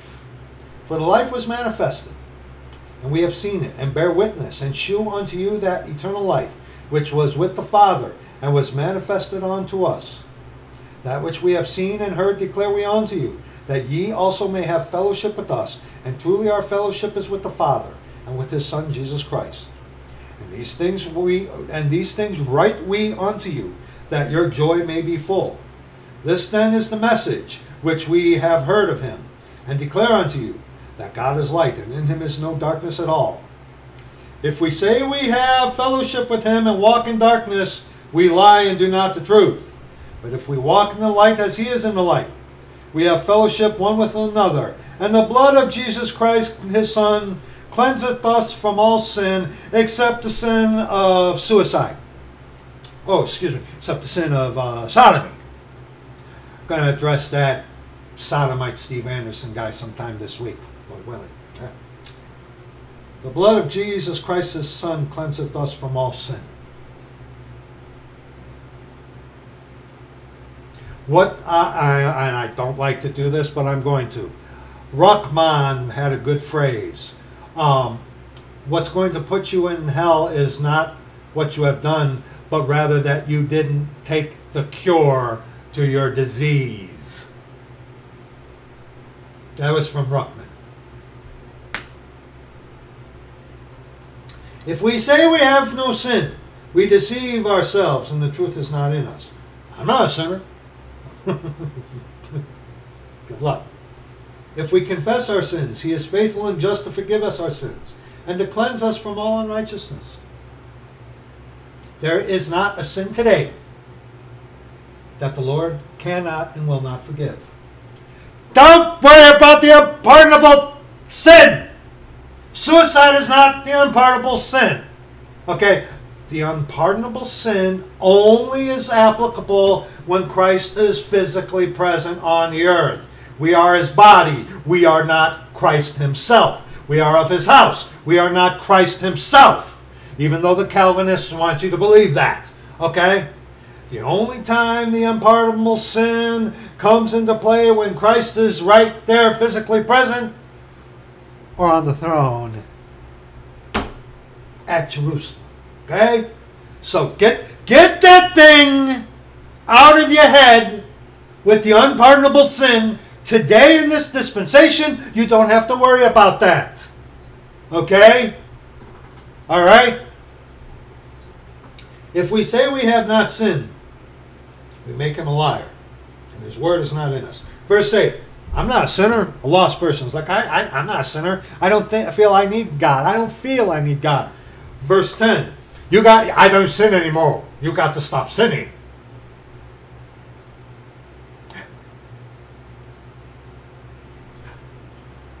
Back to Second Timothy chapter two. Back to Second Timothy chapter two, verses one on to verse five.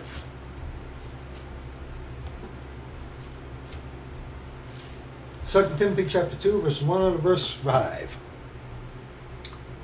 Thou therefore, my son, be strong in the grace that is in Christ Jesus. And the things that thou hast heard of me among many witnesses, the same commit thou to faithful men who shall be able to teach others also. Thou therefore endure hardness as a good soldier of Jesus Christ. No man that warreth entangleth himself with the affairs of this life, that he may please him who hath chosen him to be a soldier. And if a man also strive for masteries, yet is he not crowned, except he strive lawfully. What does that mean? You take it into your own hands to be God and end your life, you'll be, we've proven, you'll be in heaven. We have also proven that, yeah, you'll be in heaven, but you'll be one of those vessels unto dishonor for eternity. I don't know how anybody who claims to be claims to be a Christian could be okay with that and claim that they love the Lord. See that that doesn't make and see that's what the the easy believers people bank on. Okay, hey, I'll, at least I'll be with the Lord. Well, you easy, easy believers people are not because you don't have the right Jesus and the right gospel. You don't. You offer another Jesus and another gospel. But uh, yes, you will be. If you're a saint, if you're a saint, you're actually saying yes, you will be. You're going. You're going to heaven. Period. But woe be to you that everybody's having the party and you got to be over there. Yeah, you'll be in heaven, of course. Did a lot better than hell. Amen. Amen. I want to have fellowship with my Father. Don't you? Don't you?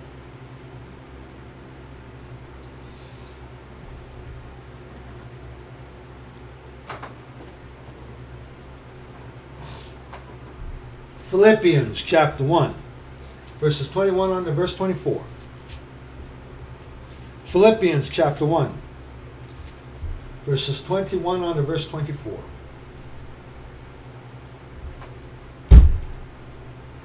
For to me to live as Christ and to die is gain, right?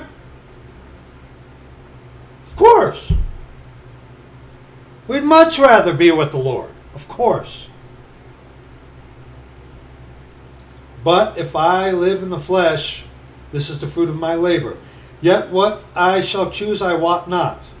For I am in a strait betwixt two, having a desire to depart and be with Christ, which is far better. Nevertheless, to abide in the flesh is more needful for you. That was Paul. I love you. Shut up. Shut up. You you don't know how the Lord is using you. You don't. Suicide is the ultimate act of selfishness. Paul! Yes, the greatest of the saints. Yes, he was. But see that, can't, I can't see that. Nevertheless, to abide in the flesh is more needful for you. I'm not. I, I'm not doing anything. Well, how do you know? Hmm? How do you, you don't know? You don't know.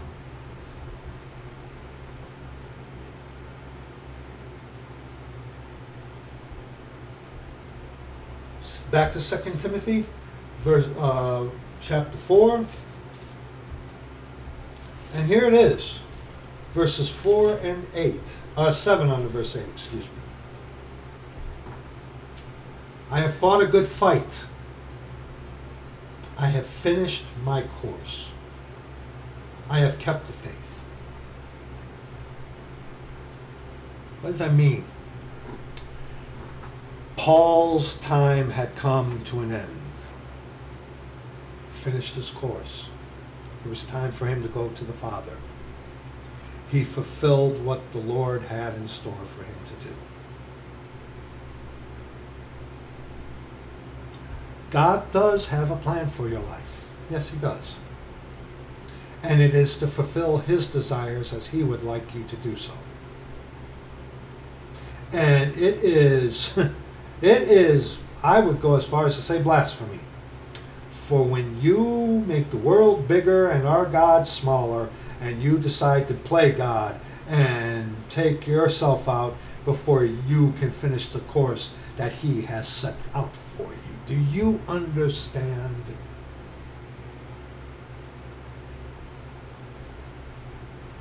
Henceforth, there is laid up for me a crown of righteousness, which the Lord, which the Lord, the righteous Judge, shall give me at that day, and not to me only, but unto all them also that love his appearing.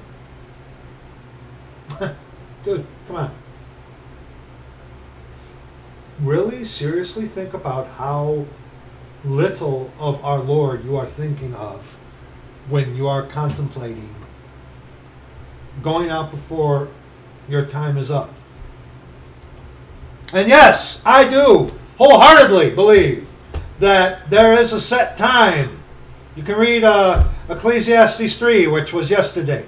Okay, you can for, for everything there for every time there is a purpose. Uh, but instead of butchering that, okay? Yes, yes, I I do believe that wholeheartedly. Okay, that we have, God knows when we're going to die. Okay, He does. Okay, well, why doesn't God stop people from committing suicide, you might ask? Uh, you, you made your choice. He can, but see, He is not a God of coercion. To everything there is a season and a time to every purpose under the heaven. God has a plan for your life. Okay? But as we already read in 2 Timothy, you know, if we suffer with him, we will also reign with him. Christianity takes God as a plan for your life and points it at you as a par to your covetousness, which is not the case in reality. Yes, I personally I believe Scripture verifies this. We're here for a set time. And the time we have, how are we using it? Okay? And when you decide to get into the way of that, you might be saying, well, man can't do that, Brad. Uh, well, remember when the children of Israel were to go over and inherit the promised land the first time? Okay? Mr. Calvinist with your coer- coercive false God. Uh, did the Lord force them to go over? No. No, what did they do? They saw the people in Canaan bigger. You read about that in Numbers 13. Thank you very much. Uh, you read about that in Numbers 13 about how the spies that came back made the things over there in the promised land look bigger, and them and their God that small in comparison to the problems.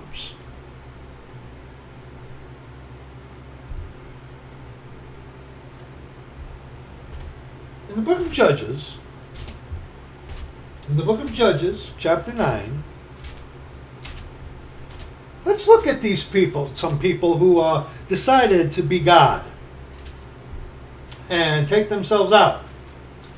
Judges chapter 9, not Joshua, come on.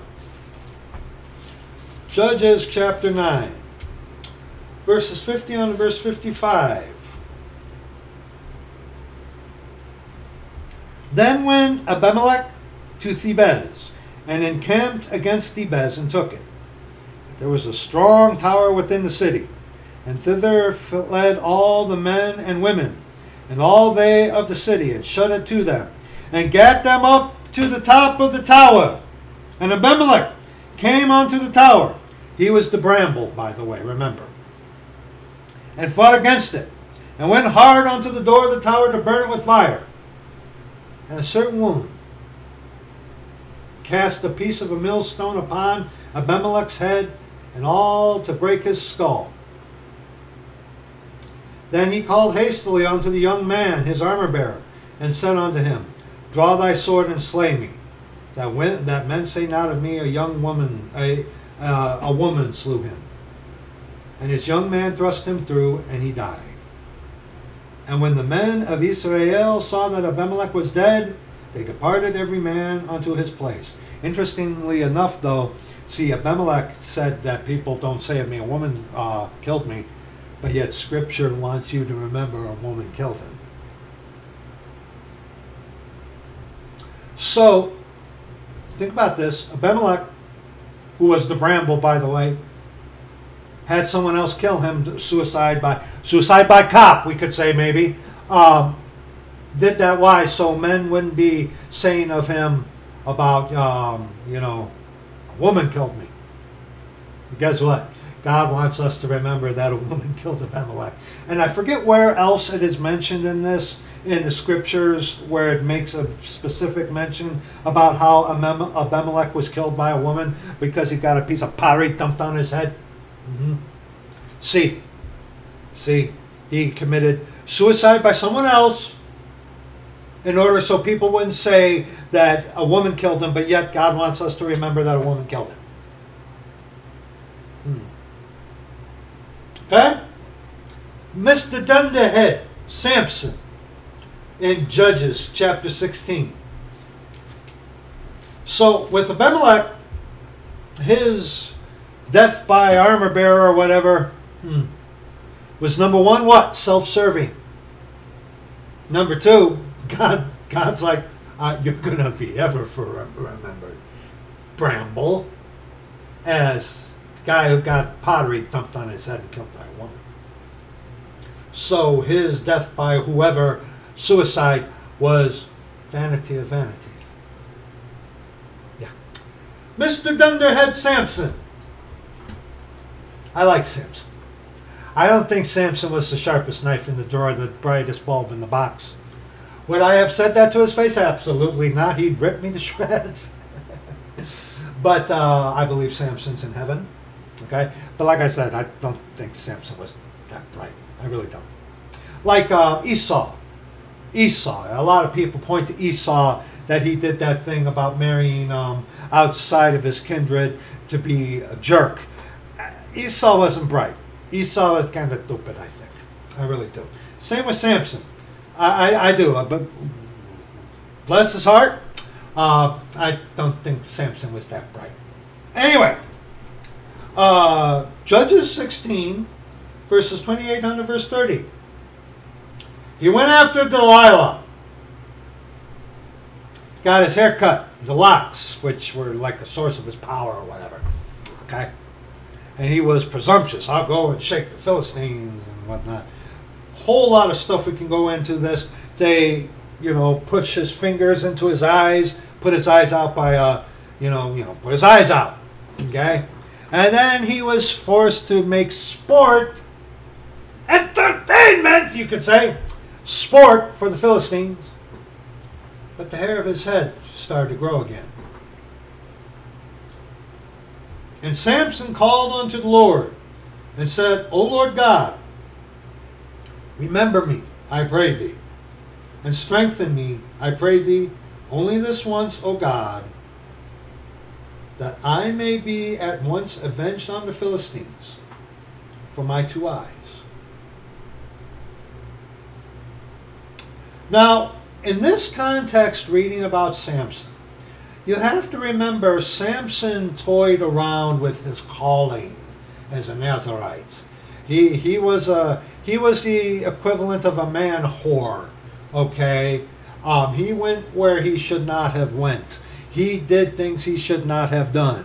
He did great acts for the Lord. Yes, he did. Know, Samson's in heaven. Yes, he is. I, I have no doubt.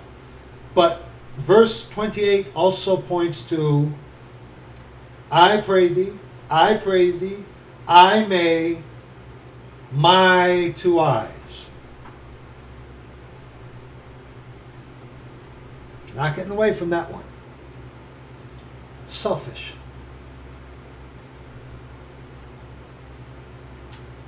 And Samson took hold of the two middle pillars upon which the house stood, and on which it was borne up, of the one with his right hand and the other with his left. And Samson said, Let me die with the Philistines. And he bowed himself with all his might, and the house fell upon all, upon the lords and upon all the people that were therein. So the death which so the dead which he slew at his death were more than they which he slew in his life. Samson died a martyr's death. Yes, he did. But what we can't get away from with Samson is number one, Samson messed around with his calling. He lightly esteemed it. He took advantage of it to gain. And he also was a man whore. And went with a woman he should never have had. And he paid the price. God was gracious to him. But we can't get away from verse 28 that I, I pray thee, strengthen me, I pray thee only this once, O God, that I may be at once avenged of the Philistines for my two eyes.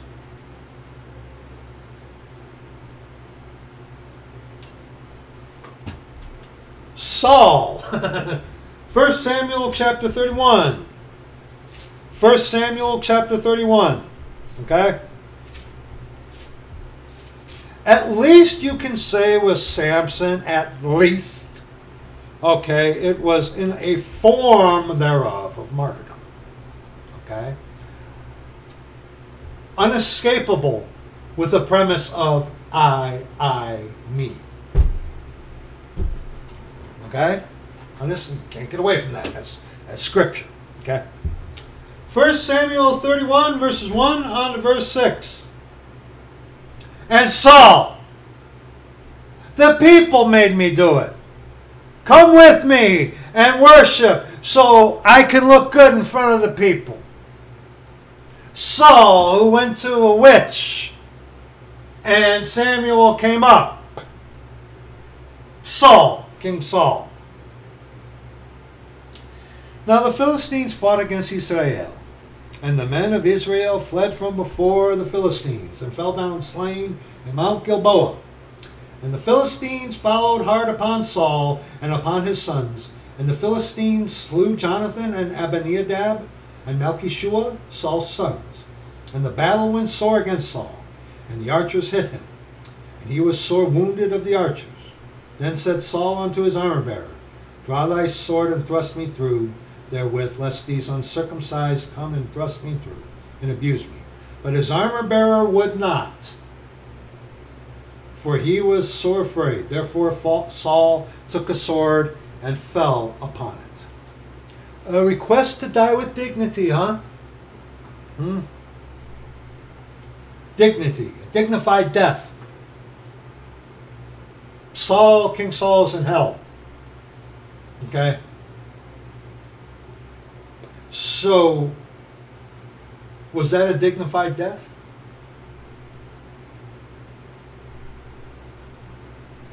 and his armor bearer. Verse 6, or verse 5. And when his armor bearer saw that Saul was dead, he fell likewise upon his sword and died with him.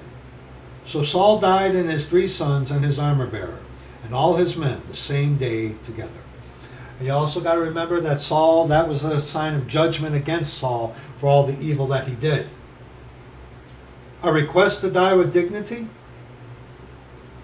Was Saul dignified in his death because that death came from disobedience unto the Lord? Absolutely not. Absolutely not. You keep that in mind when they get this macho, I, I, I, me, me, me thing about self uh, uh, assisted suicide. Pull the plug on me. Yeah. Keep that in mind, okay? 2 Samuel 17. One verse, verse 23.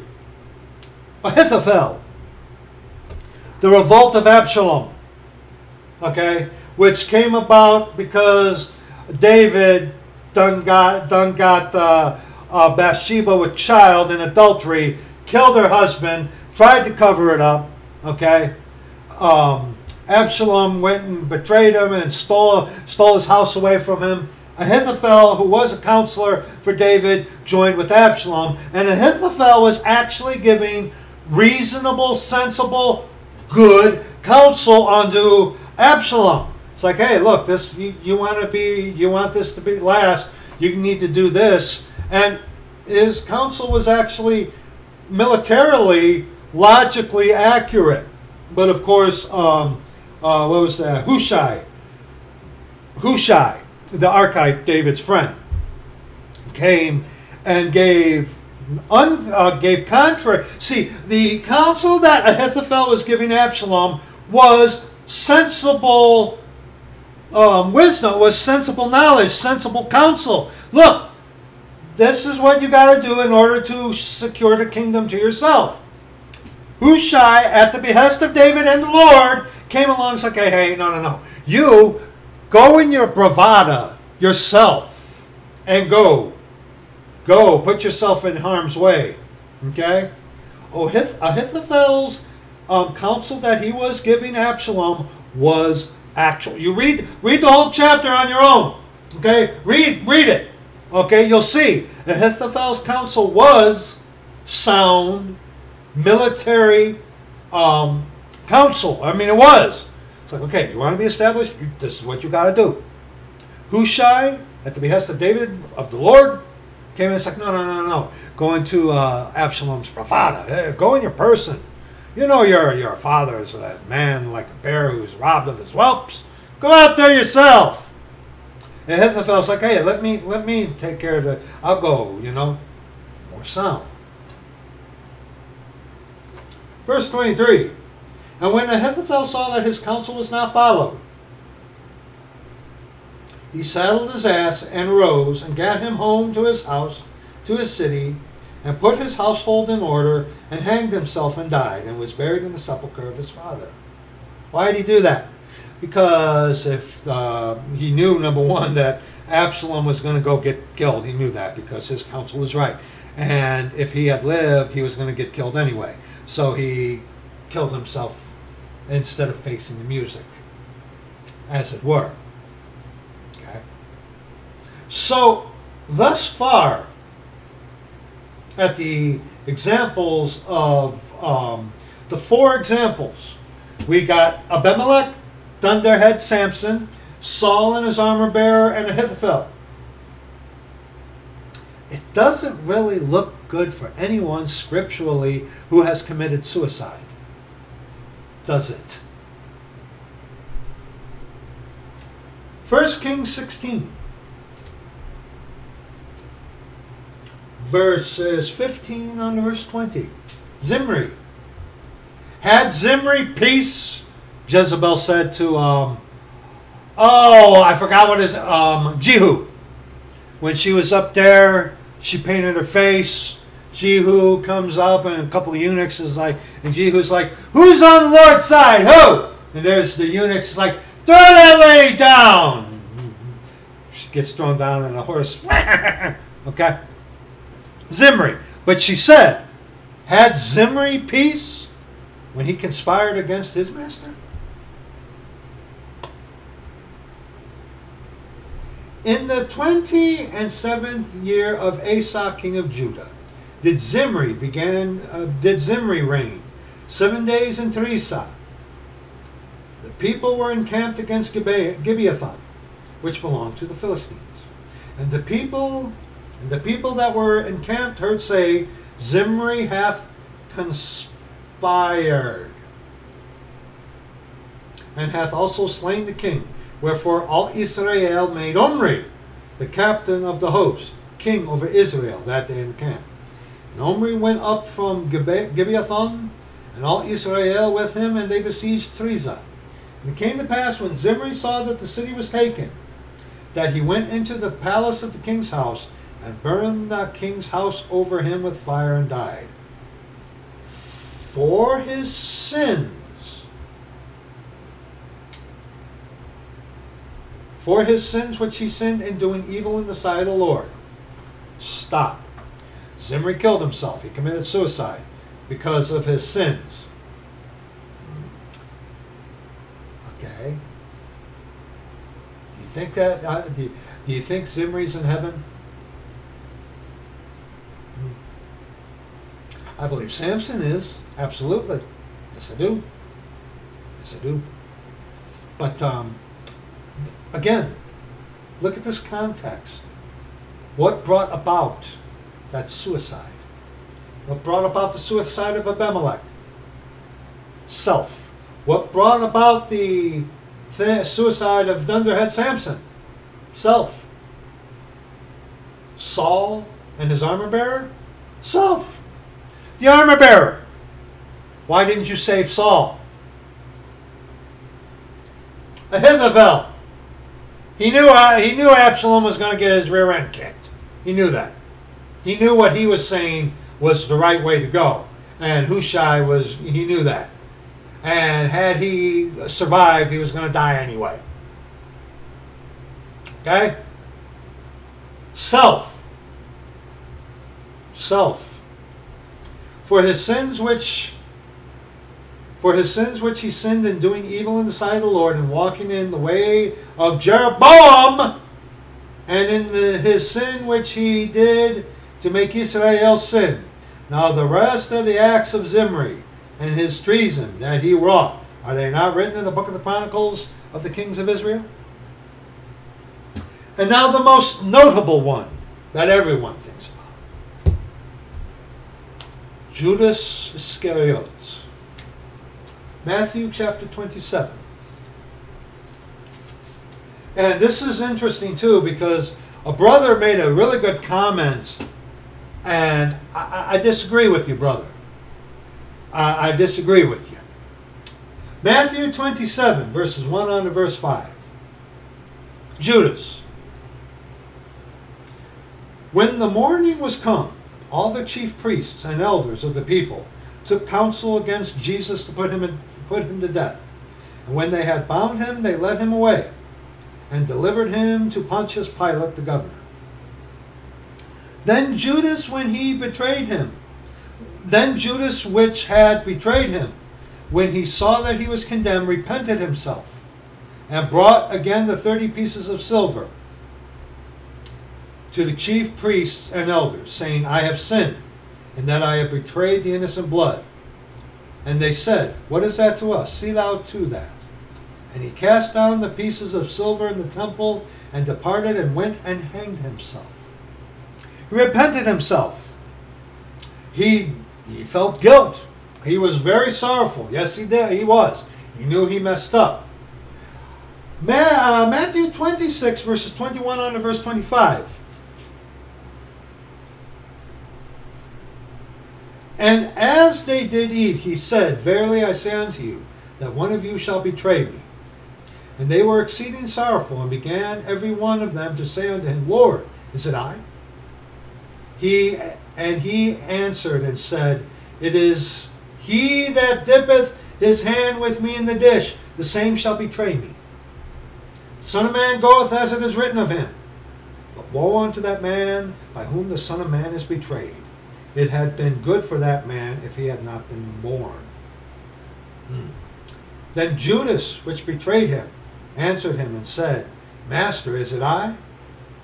He said unto him, Thou hast said. Now, when you look at verse 24, that is talking about what we see in Matthew 27 saying, I have sinned. The guilt. The guilt. The realization, oh wow, what I just did. Okay? The guilt. That is a reference onto the guilt. That is not a reference at all saying that Judas was beyond salvation. Even though, I mean, Judas, of course not. Verse 24 is a reference on it had been good for that man if he had not been born, meaning the the burden of guilt, the thing, and obviously, what Judas thought thought was enough to go and hang himself. Okay? In John chapter 13, verses 21 on to verse 27, brother, you'll see this. I love you. I don't think Satan ever left Judas Iscariot. I don't think he did. In your comment, you said that's when uh, Satan left Judas Iscariot when he was guilty and hung himself. I did. There is no scriptural evidence to tell us that Satan ever departed out of Judas Iscariot. Just like there is no evidence during the time of Jacob's trouble that Satan will ever leave that man of sin, the son of perdition. Except, you know, after whatever, and he goes into, you know what I'm saying. I, I don't, there, I don't agree with that. I don't agree with that. I, I don't think Satan, I think Satan was there all the way until he hung himself. Because Judas at any moment could have, it's like, you know what, I'm not going to do this, I'm going to try to get right. No. John 13, 21 on verse 27. When Jesus had thus said, he was troubled in spirit and testified and said, Verily I, verily I say unto you, that one of you shall betray me. Then the disciples looked one on another, doubting of whom he spake. Now there was leaning on Jesus' bosom one of his disciples whom Jesus loved. Simon Peter therefore beckoned to him, that he should ask who it should be of whom he spake. Then he then lying on Jesus' breast saith unto him, Lord, who is it? Jesus answered, It is he, it, he it is to whom I shall give a sop, S O P, son of perdition. When I have dipped it. And when he dipped the sop, he gave it to Judas Iscariot, the son of Simon. And after the SOP sop, Satan entered into him. Then said Jesus unto him, That thou doest, do quickly. There is no evidence inside of Scripture that shows that Satan ever went out before, uh, before Judas done killed himself. There's no evidence to support that. What is there is they point to, well, the guilt that Judas had. And if Satan was in him, he really, if Satan was in still in Judas Iscariot, then why was he so guilty? Well, number one, in uh, uh, Matthew 26, our Lord says it'd be better for that man if he had never been born. Talking about the weight of the guilt that he would have. But that does not mean or prove that Satan never left Judas Iscariot. Mark chapter 5. Look at this. Verses 5 on to verse 7.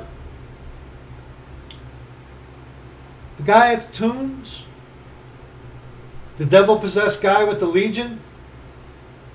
Check this out. This idea that, you know, because uh, he repented himself, he, he felt guilty. I betrayed innocent blood. He did. Yes, we, we just read it. But does that mean that Satan still wasn't in Judas Iscariot? Wait, what do we do with this? And always, night and day, he, the devil possessed man, was in the mountains and in the tombs crying. Ah.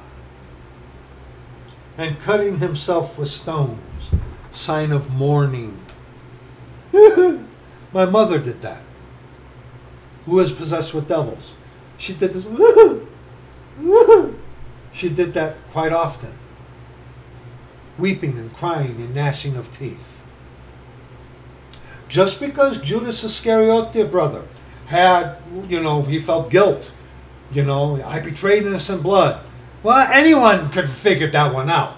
That doesn't mean at all, that is not scriptural proof or evidence that um, Judah, that Satan ever left Judas Iscariot. I personally believe when Satan was done with Judas Iscariot is when he dangled him, either his neck snapped or he died. Okay? That man of sin, the son of perdition. When he gets that wound, I believe that's when Satan's going to enter that man of sin, the son of perdition. And he ain't going to go at all until the time comes. Okay? Let's, let's keep reading. But when he saw Jesus afar off, he ran and worshipped him. Now put that in context with Judas Iscariot. He repented himself. Zacchaeus betrayed in innocent blood. We see a devil possessed man crying and cutting himself with stones, a sign of mourning, uh, um, a heathen pagan thing, cutting themselves. Okay? We read about that when they uh, certain ambassadors came uh, around the thing of Jehu, where they had cut them, they shaved their beards and they cut themselves as a sign of mourning. So, right here, crying. and what did he do? But when he saw Jesus afar off, he ran and worshipped him. I betrayed the innocent blood. Let him go and cried with a loud voice and said, What have I to do with thee? Jesus, thou Son of the Most High God, I adjure thee by God that thou torment me not. I, I, I did. I, I, saw that that comment. It's like, hmm. I, I, I, I love you, brother. I love you. Uh, I, I don't know if I agree with that. I, I don't know if I agree with that. I, I, I don't agree with that. But that, hey, that's fine. That's all good. That's all good. That's all good.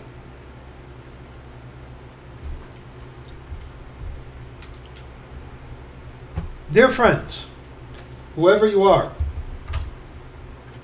suicide is not your answer. Suicide is the ultimate act of selfishness. As a saint, actually a saint, yes, you'll go to heaven to be with the Lord for eternity. But he's going to be ashamed of you for all eternity. You will be one of those vessels unto dishonor. How, how could it be otherwise when you, as a saint, trust that your problems are bigger than the Lord who you serve? And you lost people? You think your problems are bad now? You have no idea.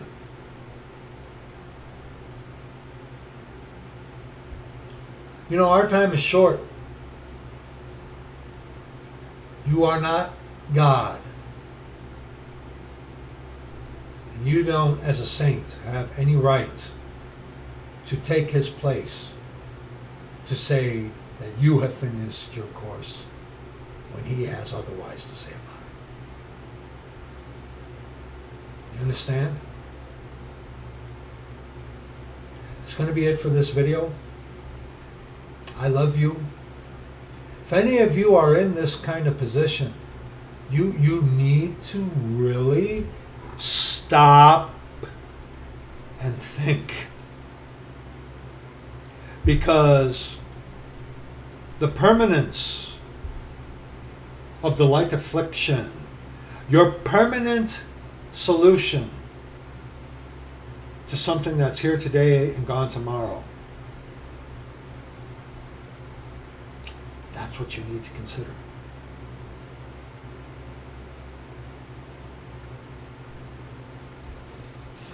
Thank you for watching this if you do. I love you. See you in the next video.